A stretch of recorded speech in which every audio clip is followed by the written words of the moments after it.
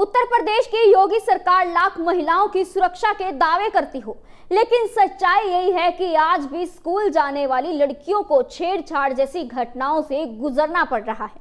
हालाँकि सूबे के मुखिया द्वारा एंटी रोमियो का सरकार बनने के साथ ही गठन भी किया गया था, किंतु वह कहीं नज़र भी नहीं आता। मामला है छाता के गाँव तरोली सुमाली का, जहाँ पर एक लड़की को छेड़ने पर लड़की ने मजनू की चप्पलों से ज़बरदस्त पिटाई कर डाली।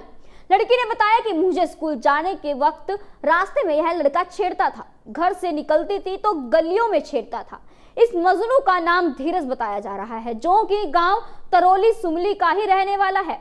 आप देख सकते हैं कैसे चप्पलों से इस युवक की पिटाई की जा रही है। लड़कियों ने जब अपने परिजनों को इसकी बात की जानकारी दी तो लड़की के परिजनों ने युवक को धर दबोचा। लड़की के हाथों से ही इस मजनू युवक की झमाझम मजावत करवा डाली।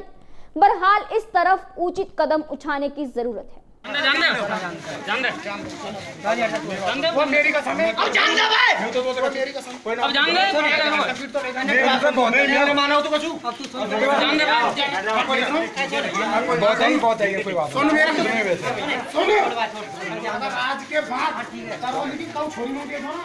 जेबीडी दे लाए है। अब जान दे भाई मैं तो बोलता मेरी कसम कोई ना अब जान दे मेरी कसम बहुत है मैंने माना हो तो कछु जान दे बहुत है बहुत है ये कोई बात सुन मेरी कसम सुन अगर आज के बाद तरोली की कल छोड़ी नहीं देखो ना JBD Banquets lie हैं incredible marriage palace Rajgharana and the finest banquet hall Jyoti Garden.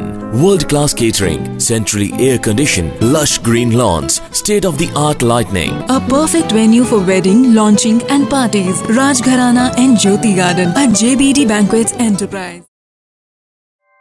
ऐसे ही लेटेस्ट खबरें पाने के लिए बेल आइकन को क्लिक कर हमारे चैनल को लाइक शेयर एंड सब्सक्राइब करें धन्यवाद